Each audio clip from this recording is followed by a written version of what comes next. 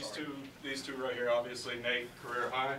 Uh, what'd you say, no, no twenty-point game before Never. Mm-mm. Wow. high school? Oh, high school, yeah, not Oh, college, yeah. though, not college, not But yeah, I mean, obviously a big win puts them in the, uh, in the top four in the SBC standings as well, so. Questions? First, the first half, were you guys Mr. Inside, Mr. Outside? I mean, some rolls, pick and rolls, you're sitting out a little bit further, they're kind of lost, and then all of a sudden you go in and scored, and you hit a three, and that one time a little shimmy coming back down the floor. What was it, I mean, you guys Mr. Inside, Outside today? It's just the way Or they. just the way your setup worked? It, it was a little bit of both. It's the way uh, we kind of ran our offense, but we knew they dropped that. They're big, really far. So um, those handoffs and threes were open if we set it right. And the reset, come back off of the screen, and he steps up, and Nate's wide open because they don't help off the corner. So it's really how they how they played it. Um, and then obviously he made one-on-one moves and got buckets. So I mean, there's no no play for that. You know, they tied, they tied it up there in the first half at 19. You guys go on a big scoring run. Out of halftime, you guys have another scoring run. Um, how, how big were those? And just kind of setting yourself up for success um, and, and taking what the defense gives you and playing all that. Yeah, they were massive. I mean, uh, we kind of we knew we were going to come in and doing it at that point. It was just making reads. I mean, he made great reads. Jacob made, Vaughn made great reads uh, off of that little delay action that we ran. So uh, we got wide open shots and we got stops on defense, and you saw it with those runs. So never had over 20 points, is that right? Mhm, never in Going into college. this, Did you think you would? Uh, I never. At what point, I guess, did you feel yourself like getting hot like, okay, this, Uh, I mean, those first like five buckets, I felt like my touch felt good. I was, I had never come out like that before in a college game, and I thought, you know, I was getting good looks. You know, it was it was fun after that. So. I also noticed it was kind of chippy out there at times. Do you like it when it gets like that? Oh yeah, it's fun. I love I love a little chippiness. Uh, they got to talking. You know, I, I'm not gonna just back down from this. I'm gonna talk back too. You know, so. Yeah. Danny goes on the radio going, first thing he says, our offense showed up. Is that true? We've been waiting, waiting, waiting. We missed out last week, it's two nightmares, and today it's like, you could throw it in from anywhere. Yeah, I think um, I personally, me, I, I always have to look at myself in the mirror, and um, um, part of it is I have to. I mean, for lack of a better like kind of statement, I got to run around more. You know what I mean? Like that's just how it is. Um, I got to make them guard me every single possession. I got to tire them out. Um, in the second half, you see they're chasing everyone, and then all of a sudden someone's wide open for a three or wide open for a dunk. Um, and that's all the movement together. You know, people setting me screens, I'm running around, I'm setting everyone else screens. Um, and as a shooter, when no one's going to help off you, that's kind of how you got to play. Um, so, from my perspective, that's kind of how it went. Coach said on Monday he was tweaking the offense a little bit. You guys now have a week, two games under your belt in this new tweaked offense. Do you think it's really working for you guys? Yeah, I think um, Nate has been excellent passing the ball, and, and um, he set some mean screens. So um, using him as that second screener, someone coming off the first screen, getting a second screen from Nate to clean it up. If they want to chase around, that's that's really difficult. Um, and he makes great decisions. And um, Jake out of the ball screens made great decisions tonight. Um, so it, it kind of frees up the bigs off those rolls um, when we set it right, and we get we get more threes and pull ups coming off of those screens. Um, but we just got to be patient with the offense. Um, it's a work in progress, like always, you know. Um, and we're we're not finished yet. We still got nine more games and plus the tournament, so um, we'll see where it takes us. Uh, I thought even, uh, you guys shoot 56% tonight, which is a good number, but I thought bigger than that. You only turned the ball over once in the second half and forced, um, I think it was seven. Um, in game like that, when you're trying to separate yourself and create that separation, playing clean basketball is huge, right? Yeah. Yeah, I mean that's something they preach all the time: the assist turnover ratio, right? Like, you want more assists and you want turnovers, and you want to turn the other team over more. And you get easy buckets off of that, and they can't get easy buckets off of your turnovers when you take care of it. So, and then with the assists too, just it shows that the ball was moving. You know, we're getting good shots. Like the first Georgia State half, ugly. Second half, we picked it up, and now you're kind of seeing it all trying to come together a little bit after a week of work. So. Piggybacking off that a little bit, how much is it trusting in, you know, what the coaches are delivering and what you all know you can do? Like you said, the Georgia State first half was, I mean, it was a little bit rough, but this is something new, and it seems like the last three halves y'all really taken off with it. Yeah, I think also um, kind of like playing to our strengths. You know, uh, we kind of watched it on film, like um, bigs getting into multiple screens and just hunting the screens early too. I know one one possession in the first half, uh, I was in the corner and Bean sprinted down the court, immediate screen. I got fouled on a three, and he quick pass. So it's like stuff like that that's early and often, you know, and, and the defense is constantly having to worry about something. Um, and you're playing to your strengths. So, you know, the next, I mean, they helped off the lobs today. So we went, the guards went to the basket, got free. But next game, it could be Bean has four dunks off of lobs and Nate has another 25 points, you know. So it, it just really depends, you know. But we just got to play to our strengths still and um, kind of have IQ with how we run it. So. Back to 500, two more, home games next week before you go back on the road. Um, you know, just how important it- is it to capitalize on what you guys have started to build now and, you know, get to stay home next week? Yeah, I think one thing I'll say is this game might not have looked like this if we played at Southern Miss. You know, the way we went on a run and the crowd got into it, and you know they kind of forced up a couple bad shots. Um, so defending home floor is really important, and you got to steal as many as you can on the road, and that's kind of how conference play is. So we're looking at this stretch as, as really big towards um, coming down to the end of the season and um, making a run for not only top four seeds, but hopefully you know winning this thing as the results come out. Today down there? Because, I mean, there's sometimes in there, you're, you scored one basket every, I think all five players hit you at some point. You still found a way to, to get it up and in. I mean, is that something like, I enjoy this? Yeah, I mean, it's, You look a little tired at times, Yeah. which you can understand, but I say, hey, they paid the price. yeah, I mean, it's something I've kind of worked on through my college career is not trying to seek the foul, but going through the contact, you know. And I think that really benefited me tonight because, I mean, like you said, they were grabbing, fouling, hitting every every possession basically. So just being able to play through that and uh, you know keep focused without getting to two in my head. So. Anything further for the guys? Thank you, sir. All right, Thank you. appreciate it. Like I mentioned before, moving into the top four in league play and, and defending the, uh, home court with two more here next week. Opening statement from coach and we'll Well, questions. you know, like I said, these four were big, and we gotten two, so still, that's just halfway there.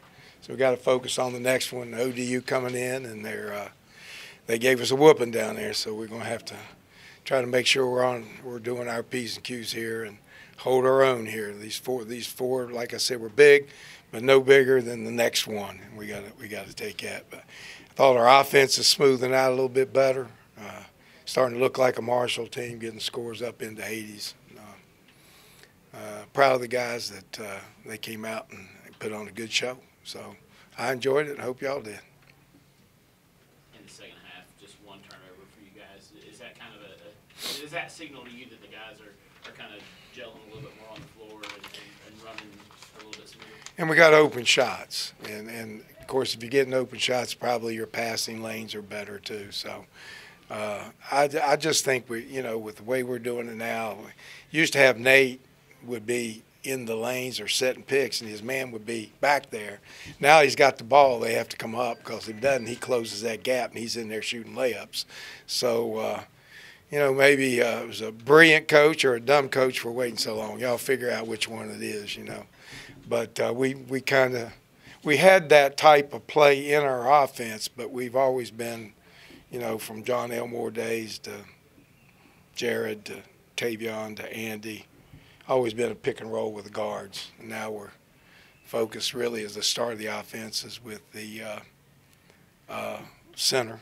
And uh, we got a good one who can do it. He can play like a point. He gets over these strong with the ball, dribble. He can get it up in the lane.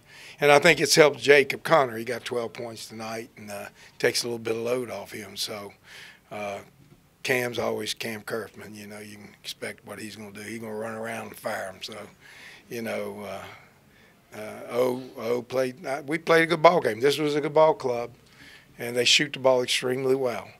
And uh, to get out 20 points on them, hold it, and end up with 16, it's a pretty good night. Coach, kind of going off of Nate Martin, we learned this was his first uh, 20-plus point game in his college career. So just again, just how much of an impact has he had on your guys' program? You know what? More than just the court. Uh, he, he brings maturity. If you if you talk to him, he's uh, uh, he likes to hike and read. So you figure that out. He's 22 years old and he likes to hike and read. So uh, he's a mature kid and he uh, he handles himself real well, and that that bleeds in the team. Then he's very strong and he uh, very aggressive and he plays hard. He can get up into the lane. He's got a little touch once he gets in the lane.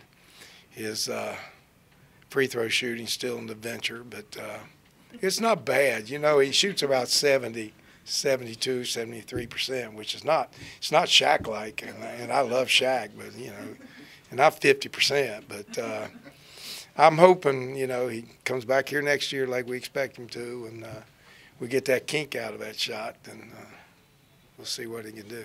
But uh, he's he's a big effect, just on, on the floor and off the floor. That first half almost looked like between Nate and Kamdyn, Mr. Inside Mr. Outside.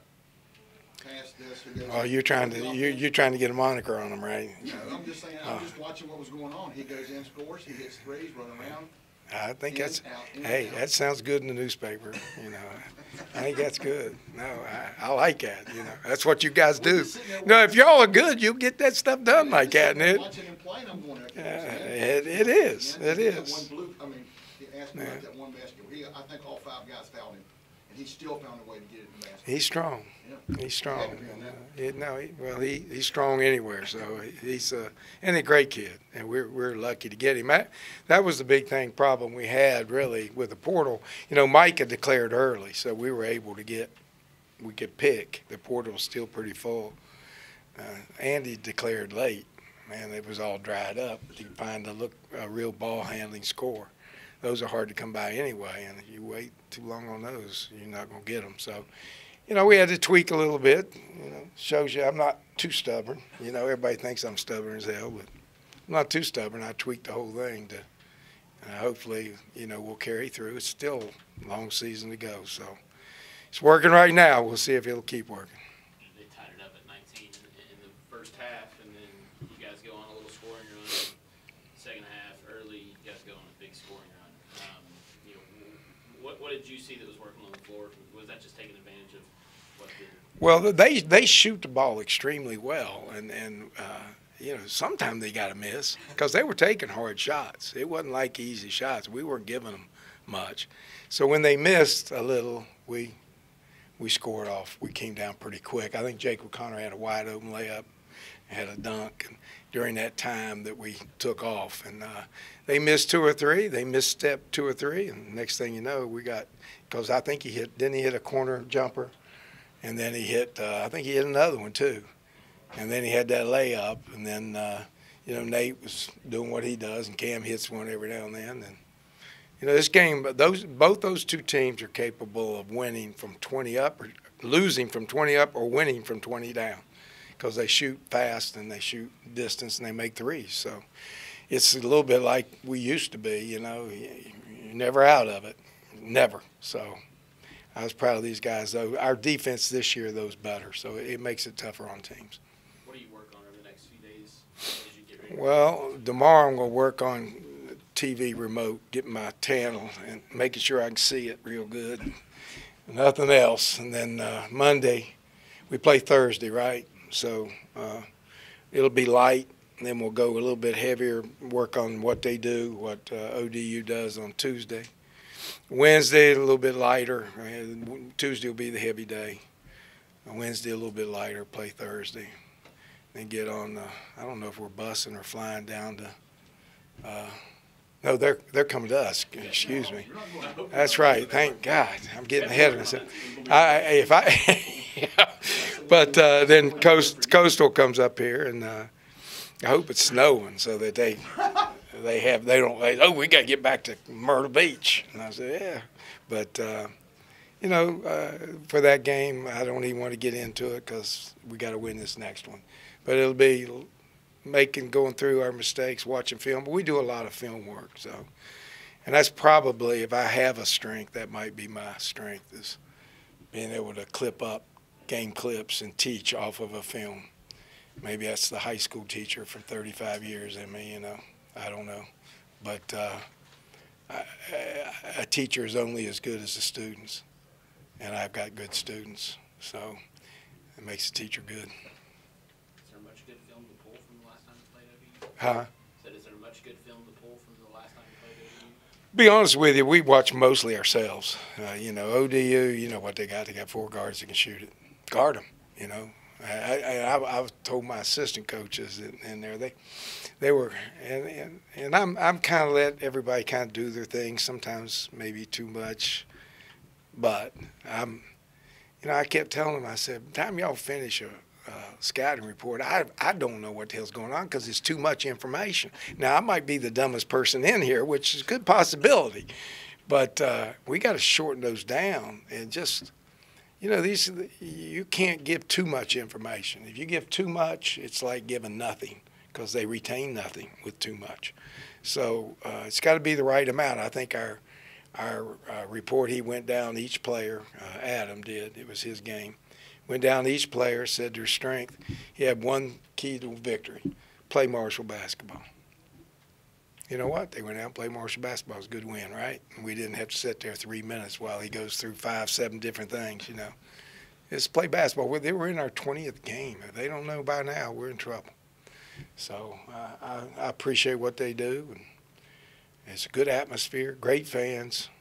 Uh, band was good. Uh, They're doing an excellent job. So much better when I first came by putting the event on. You know, the feel, you can feel it even on the bench. So you know, it makes me, it gets me excited, and uh, I've been doing it 50 years, but they get me excited, and uh, uh, I hope we continue for them and see if we can't uh, get further down the road this year than what we've been doing the last few years. But uh, maybe we'll top John Elmore. I don't know what he'll have to. I don't know what he'll have to say about that, but uh, that's always the goal. But I've always said, you know, you got to be a Marshall fan win, lose, or draw. The only time I would not be a Marshall fan is the same thing with me coaching. I don't get on my players unless they don't play hard and they don't play for Marshall. All right, so if we're playing hard and we're playing for Marshall, fans should be right here supporting. Win, lose, or draw. Doesn't matter. Doesn't matter from that point on. That point on, you're a fan.